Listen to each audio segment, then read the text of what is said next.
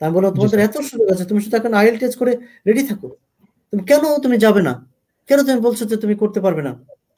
অর্থাৎ না বলে কথা নাই। কে তোমাকে বলো যখন তুমি ক্ষুধার্থ তোমাকে বলতে হবে তুমি ক্ষুধার্থ তোমাকে নিজের হাতে খেতে হবে। কেউ তোমাকে দিবে না। একমাত্র মাই বারবার বলে যে তুমি হ্যাঁ মা ছাড়া কেউ বলবে না। আসলে বুঝতে পেরেছ? যার no one in the world তো এই জন্য বলব যে এটা খুব গুরুত্বপূর্ণ। তোমার যদি ভিতরের এই চেতনা না থাকে তাহলে হবে না। চেতনা জাগ্রত করো তোমাকে ই হতে হবে তোমাকে সফল হতে হবে। তোমাকে লিগাল ওয়েতে আইল টেস্ট করে কানাডা যেতে হবে বা আমেরিকা যেতে হবে বা সুইডেনে যেতে হবে বা ইউকে যেতে হবে। সবগুলো তো প্রসেসিং এটিএম সে করছে যা সততার চাদর মোড়ানো।